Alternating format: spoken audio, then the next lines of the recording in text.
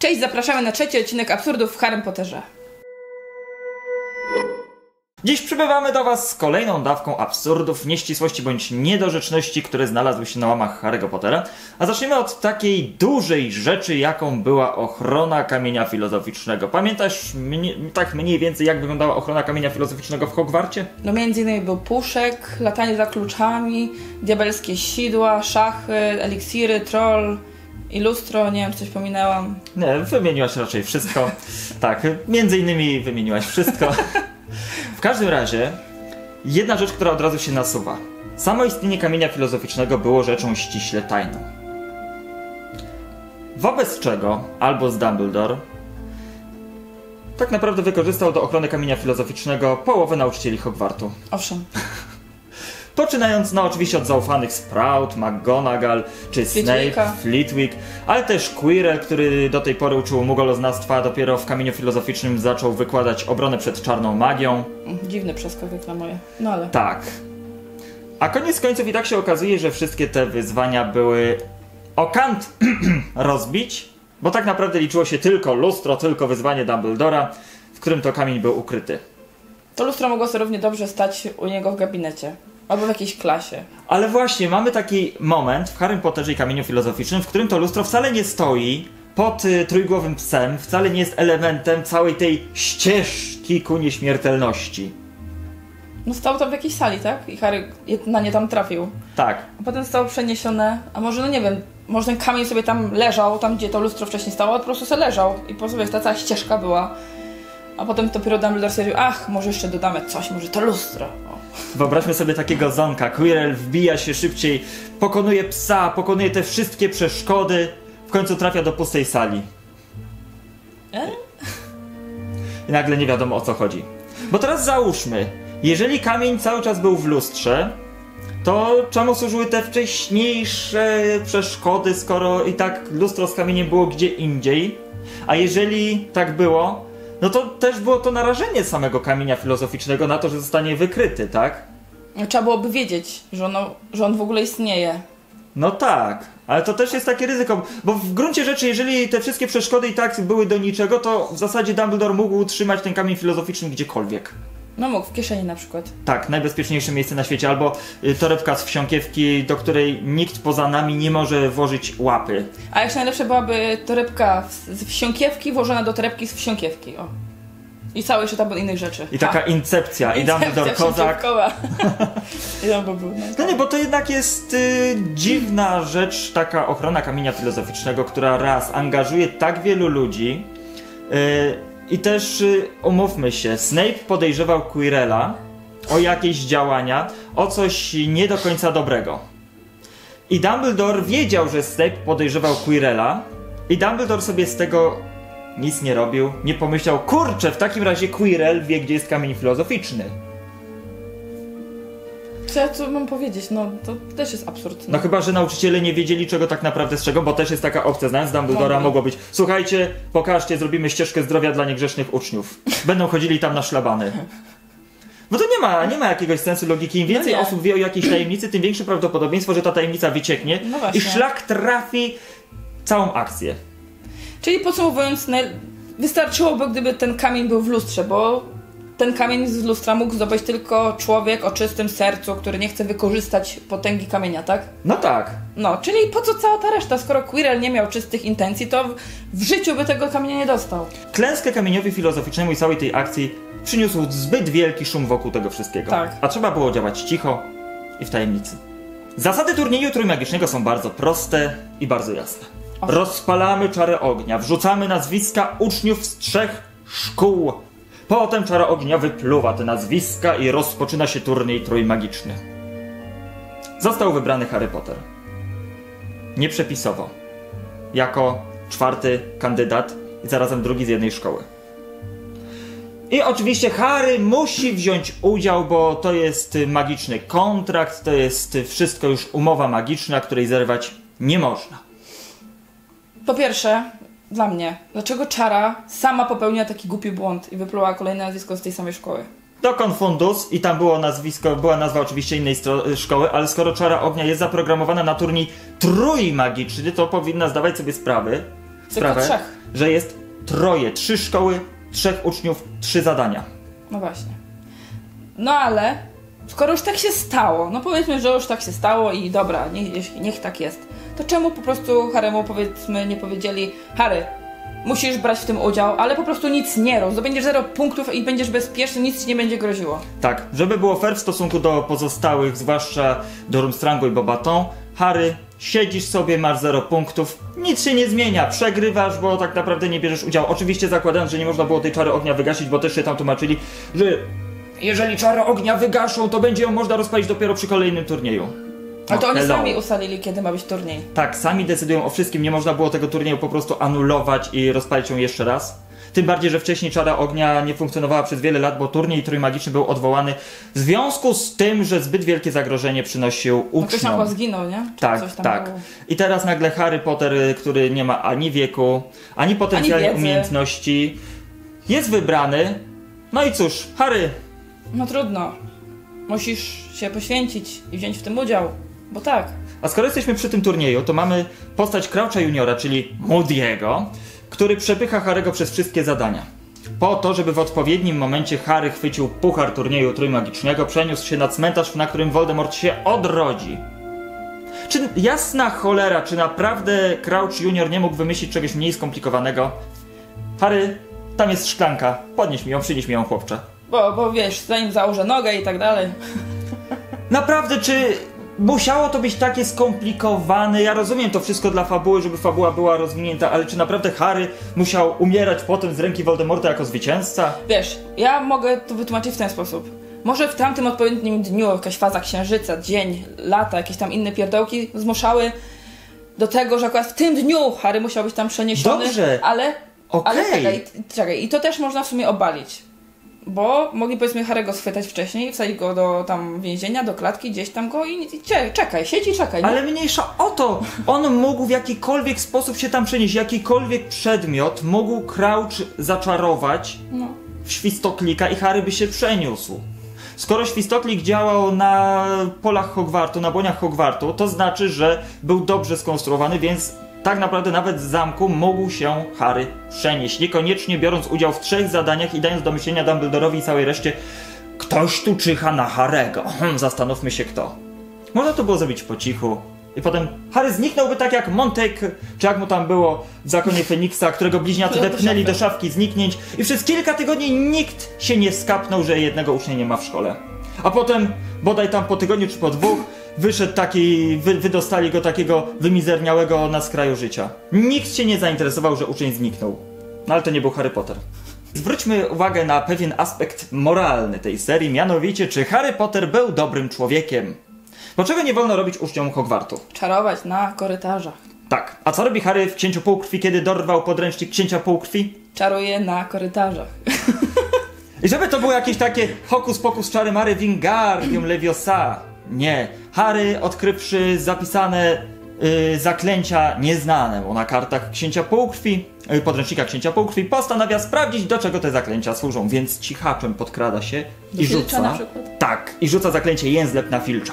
A ja, język się hoch do podniebienia. przykleja i Harry usatysfakcjonowany idzie kombinować dalej. W dalszej kolejności rzuca nieznane mu zaklęcie na Goyla. Zaklęcie, które wywoływało gwałtowny porst paznokci. Jedno z tych najgorszych zaklęć, którym rzucił w Mal...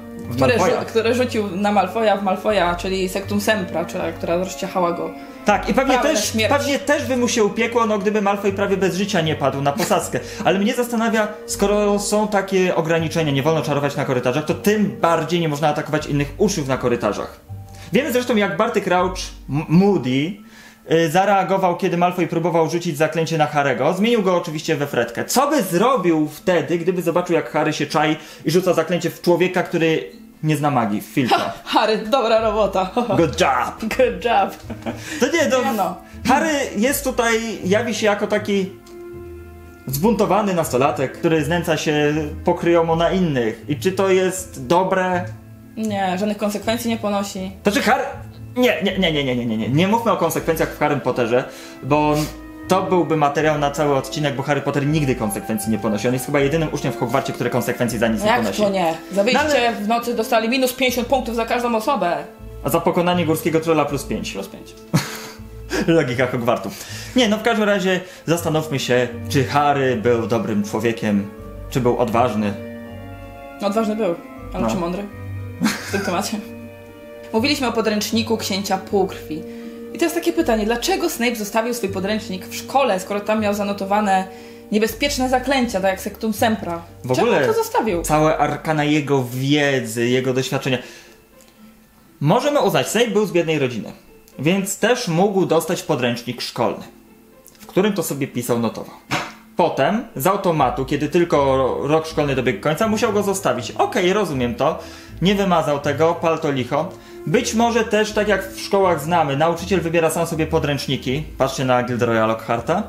Więc możliwe, że ten podręcznik obowiązywał za Slughorna, a potem Slughorn przeszedł na emeryturę, w związku z czym ten podręcznik przez całe dekady mógł być przez nikogo nieużywany, aż wreszcie pojawił się Harry, Ron i Slughorn również wrócił do Hogwartu.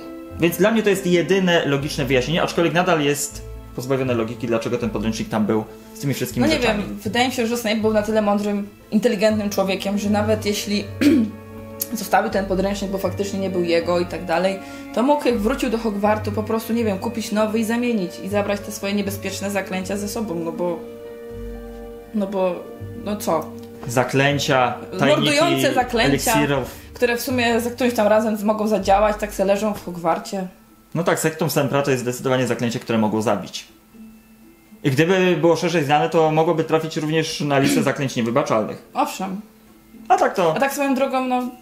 No w sumie nie, bo Snape to by nigdy nie zdradził, że on to wymyślił i tak dalej, to by nie wyszło na jaw. Ale mógł rzucić zaklęcie. i tak naprawdę wymazać to wszystko z tej książki. No mógł. Bo on, no i tak, on, on, on i tak już to wszystko wiedział i znał, No więc właśnie. stworzył. Więc jakie tajemnicze intencje miał Snape, pozostawiając swój podręcznik w szkolnej, że tak powiem, klasowej biblioteczce? A teraz odpowiemy na wasze pytania. Zaczynaj. Kwestia Hagrida. Wywalają 13-letniego ucznia ze szkoły, półolbrzyma, spoko. Matka olbrzymka nie wiadomo gdzie, ojciec chyba już też umarł, spoko.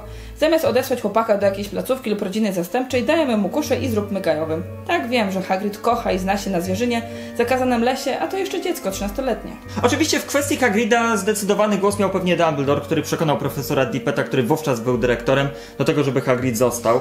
I wydaje mi się, że on chyba nie od początku został gajowym. Mógł na początku być na przeszkoleniu po, u poprzedniego gajowego. Być może był to Ok, który w latach 60., kiedy państwo Weasleyowie uczyli się w Hogwarcie, był gajowym, więc być może on przyuczał Hagrida. Aczkolwiek nadal to jest dziwne, że 13-letniego dzieciaka zostawia się w szkole. No To jednak na pewno była jakaś instytucja, która zajmowała się sierotami. Dziećmi, czarodziejskimi sierotami, no bo No, No, to jest wiem. niemożliwe, żeby czegoś takiego nie było, no bo co, umierają rodzice i co, dziecko się pałęta? Być może, być może w magicznym świecie działa to w ten sposób. Jeżeli jesteś e, czarodziejem i umierają ci rodzice, potem wywalają cię z Hogwartu, nie masz się gdzie udziać, e, udziać, udać, to zostajesz parobkiem Hogwartu. Kurde. Jeszcze bez prawa do nauki dalszej. Bez prawa do nauki, żyjesz całe życie wśród innych czarodziejów. Nie, to jest sprawiedliwe, ma to sens. Od 13 roku życia pracujesz, ma to jak najbardziej sens. A ja mam pytanie co do pierwszej części i trolla w lochach. Po tym jak Quirrell to mówi, Dumbledore każe iść uczniom do dormitoriów. A co ze ślizgonami? Ich dormitorium przecież jest w lochach. Bardzo logiczne wydaje się wysłać ślizgonów do lochów, gdzie jest ich dormitorium. No bo gdzie mają iść? Do Ravenclaw? Do Gryffindoru? A jak znajdą tam po drodze trolla, to mają powiedzieć cześć, daj nam szybko przejść, my już, już, już nas nie ma. I dalej sobie gra po lochach. Możemy też założyć, że to był sposób na pocznienie selekcji naturalnej. Wiem na skuteczne pijesz. pozbycie się ślizgonów Raz raz i na zawsze, bo wiadomo, nie każdy ślizgonów lubił. Można założyć oczywiście, że Hogwart miał tak rozbudowane lochy, że troll był w jednym ich miejscu, a dormitorium w drugim, ale o niczym nie świadczy fakt, że Quirrell powiedział, że troll jest w lochach. Nie powiedział, troll jest w północno-wschodniej części lochów, pod wieżą taką i taką, czy gdzieś tam, gdzieś tam. Zresztą nigdy nie było powiedziane, że wejście do lochów ma. Znaczy, że, kil... że jest kilka wejść do lochów. Zawsze było jedno wejście do lochów i tam było się to dormitorium. No tak, no dlatego, dlatego nie możemy tego wyjaśnić na, na taki sposób, że lochy były wielkie. Bo tak czy siak wtedy powinno być ślizgoni, zostajcie w wielkiej sali. W ogóle idiotyczne było to. Był w lochach, nie wiadomo gdzie jest teraz, zamiast zostać z nauczycielami W wielkiej w sali. wielkiej sali, tak jak później było to za sprawą Syrysza Blacka w Więźnia z Kabanu, gdzie wszyscy byli w wielkiej sali. a reszta przeszukiwała? Nie, pochodźcie sobie po szkole. Może będziecie mieli farta. Ślizgoni. Powodzenia. Ja ponawiam pytanie o brak zawodów typu psycholog, pedagog szkolny. Jeżeli chodzi o Hogwart, to niby opiekunowie domów, ale wiadomo, to nie zawsze wystarcza, a i nie każdy miał odpowiednie kwalifikacje. Wyobraźcie sobie Snape'a, któremu jakaś gówniara żali się ze złamanego serca albo kłótni z rodzicami. To nie miało prawa bytu. Faktem jest, że uczniowie, zwłaszcza z rodzin mugolskich, mieli przewalone, bo zostali wyrwani ze świata, który znali, zostali wrzuceni do świata, którego nie znają, świata magicznego. I tak naprawdę poza jakimś tam wyjaśnieniem w liście, bo nie wszyscy mieli takie szczęście jak Harry, gdzie przybywa Hagrid i wszystko mu wyjaśnia, tylko dostawali listy z wyjaśnieniem o co chodzi. I na tej podstawie przybywają do Hogwartu i mają się uczyć. Żadnej pomocy merytorycznej, żadnego wsparcia duchowego, a mają zaledwie 11 lat, więc tutaj się zgadzam, że to jest dziwne, że takiej profesji w zamku nie było. I fakt, panie profesorze Snape'ie, ja się czuję bardzo nieswojo. Kurde, już na pewno ktoś widząc Snape'a, jego twarz, jego wyraz twarzy, pójdzie i będzie się żalił i mówił, że ma jakiś problem, albo że źle się tutaj czuje. Znaczy troszkę, troszkę Hogwart przypomina mi yy, Shaolin. Shaolin.